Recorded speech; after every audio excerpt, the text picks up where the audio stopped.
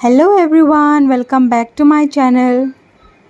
दोस्तों, आज मैं एक और नई वीडियो लेके आई हूँ। वीडियो को शुरू करने से पहले मेरी ये गोम्फ्रेना के फ्लावर्स की ब्लूमिंग देखिए दोस्तों।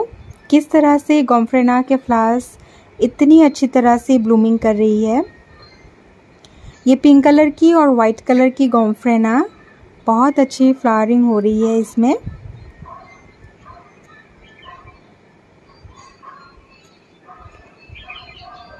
तो चलिए दोस्तों, आज की वीडियो को शुरू करते हैं।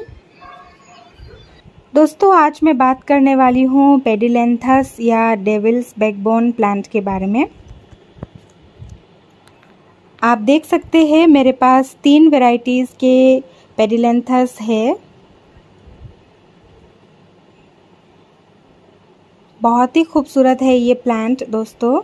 ये देखिए, ये मेरे ग्रीन कलर के पेडिलेंथस, ग्रीन वैरायटी के, ये देखने में बहुत खूबसूरत है। इनकी पत्तियाँ ऐसे ग्रीन होती है और ये देखने में बहुत सुंदर लगती है। और ये वेरीगेटेड वाली मेरी पेडिलेंथस, जो कि इसके लीव्स वाइट और ग्रीन कलर के हैं, ये भी देखने में बहुत खूबसूरत लगते हैं।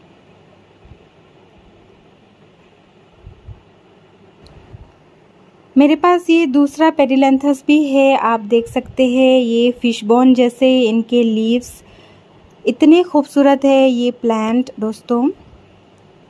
दोस्तों पेडिलेंथस एक समर प्लांट है और ये समर में बहुत अच्छी तरह से ग्रो करती है। इसीलिए जब भी आप पेडिलेंथस को ग्रो करें, आप इसकी कटिंग समर सीज़न में ही लगाएँ। ये कटिंग से बहुत इजीली ग्रो हो जाती है। इसकी छोटी से छोटी कटिंग से भी आप इसे लगा सकते हैं। विंटर में इसकी ग्रोथ जो है, वो रुक जाती है या ये प्लांट डोरमेंसी में चली जाती है और इनकी पत्तियाँ झर जाती है दोस्तों। लेकिन समर आते आते ये फिर से हरी भरी हो जाती है और इनके लीव्स फिर से आ जाते हैं। आइए दोस्तों, अभी बात करते हैं इसके सॉइल के बारे में।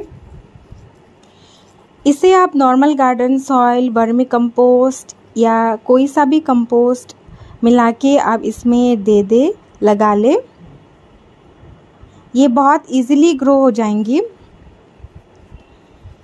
और आपको इसका जो सॉइल है, ये मॉइस्ट रखना है, आपको ड्राई बिल्कुल नहीं करना है। नहीं तो इनकी पत्तियाँ झर जाएँगी। ये एक समर प्लांट है, इसीलिए इसे आप मैक्सिमम छः से आठ घंटे की धूप में रखें। पेडिलेंथस का जो मिट्टी है, दोस्तों, वो वेल ड्रेन होना चाहिए और इसे आप मिट्टी के गमले में ही लगाए। ये मिट्टी के गमले में ज़्यादा अच्छे से ग्रो करती है। पेडिलेंथस के पौधों को आप अपने गार्डन में ज़रूर ऐड करें दोस्तों। यूँ तो पेडिलेंथस को ज़्यादा केयर की ज़रूरत नहीं है, मगर कभी कभी इन पौधों में मिलीबग्स लग जाते हैं दोस्तों। इसके लिए आपको नीम ऑयल का छिड़काव बीच बीच में करते रहना है। तो आज की वीडियो में बस इतना ही। आशा करती हूँ आपको मेरी वीडियो अच्छी लगी होगी। मेरे चैनल को लाइक, शेयर और सब्सक्राइब करना ना भूलिए। तब तक के लिए keep gardening and stay safe thank you